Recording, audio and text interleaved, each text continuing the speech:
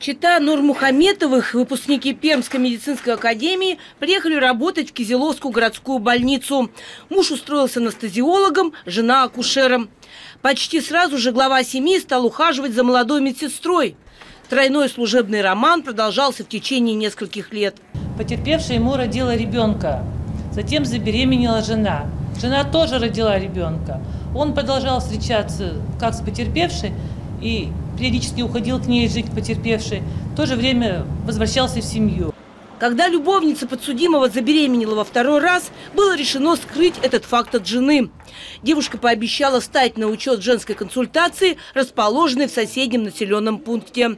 Но в итоге все вскрылось. Разгневанная супруга пригрозила подать на развод. Это и стало причиной конфликта между Родионом и его подругой. Нанес ей рукой не менее шести ударов в лицо и по телу, от чего она упала на пол. После этого он сходил в соседний кабинет, где взял силиконовый шланг, вернулся в комнату отдыха, подошел к лежащей на полу мельник, обмотал ее шею не менее двух раз шлангом, силой затянул его и сдавливал до наступления ее смерти. Достал ее, вот и все. Понятно, что всплеск эмоций.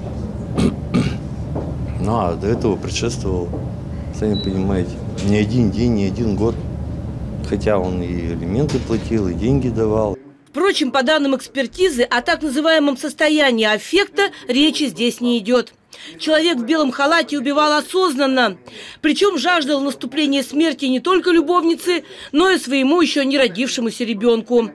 Тем не менее, суд вынес довольно мягкий для столь тяжкой статьи приговор. И назначить ему наказание 14 лет лишения свободы с ограничением свободы на один год. Отбывание наказания в виде лишения свободы Нурмухаметову следует назначить в исправительной колонии строгого режима.